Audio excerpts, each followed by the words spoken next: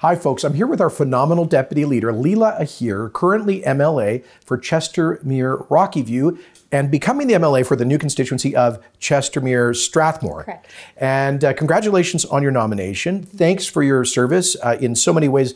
Leela's also our uh, critic or spokesperson for Child and Family Services in the caucus.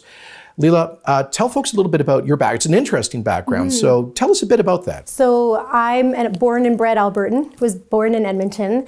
Uh, my father actually came from India in 1963, he's a chemical engineer, so I grew up out in the field in the oil and gas, which I think probably is why you'll see me just being one of the bigger cheerleaders of this industry. For well. I think all of us are at this point, but um, I grew up out in those little fields and in those portables with all of those folks working out, wow. you know, minus 20, minus 40, bringing our resources out of the ground in the most responsible way. I've always been so proud of the industry, and so that's that's a bit of my background. And my dad, um, when he emigrated to Canada, just became the most patriotic Canadian. Love it. And that's how he raised us. Was in that aspect to appreciate our culture here to be able to reach out to people. We ended up making wonderful friends because, as you can imagine, East Indian food brings the masses to your home. So, so you lived, uh, you've been in Strathmore. I mean, um, in Chestermere for many years, right? Forty-two years. Forty-two. Correct. Come on. You, yes. You were born there, in other words. Well, pretty much. Okay. Yes. Yeah. We won't tell the. All right. yeah. So um, that's awesome. So, what what caused you to take the the plunge?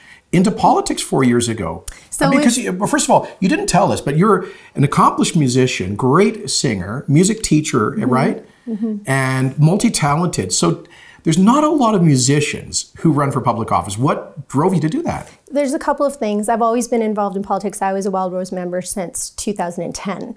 Um, I'm a fiscal conservative, so those policies very much resonated with me. So I worked with previous MLAs very, very hard mm-hmm. to get them elected under that banner. But um, what sort of gave me that final push. And I actually did political sciences in university too. My original dream outside of being a musician was to be a translator for the United Nations initially. But, anyways, that ended up going in a completely different direction. And I felt through music I could make a big difference that way. But um, as we moved into 2014, 2015, as you know, the floor crossings happened. Mm. And at that point in time, um, we were looking for a candidate in our area. And I was I had a, I was uh, directing a choir in my in my studio and I came down the stairs and they said, you know, we found a candidate and I said, "Great. Who are we getting behind?" And they said, "You." And that's how that happened. There wow. was seven men sitting in my kitchen that they had decided that I was the right candidate at that point in time. And I gave them a real run for their money, Jason. Like I, I was, there was a month there where I just wasn't sure if it was the right thing for me. Um, but all of them sat down and explained to me the opportunity that I had. And when you're asked to come forward like that, there's at some point you have to realize well, they, that yeah, it's the right thing. You got to do it. Well, clearly they, they were good um, talent scouts, and I'm just glad that you said yes. Um, so, Leela, I know you're uh, knocking on doors, and by the way, you're, you're, you pitch in visiting with Albertans from diverse communities all across the province. Truly appreciate that.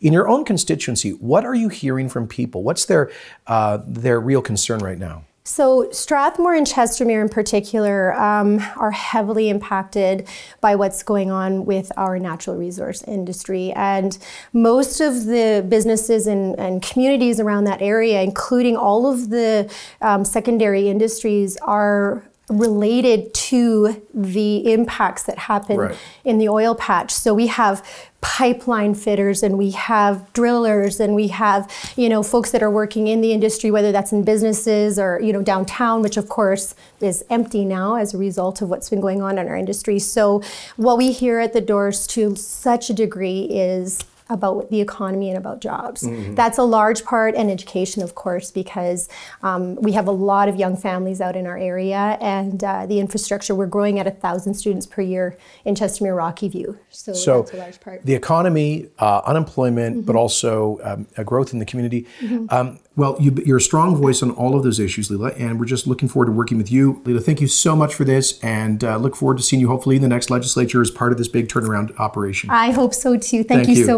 much.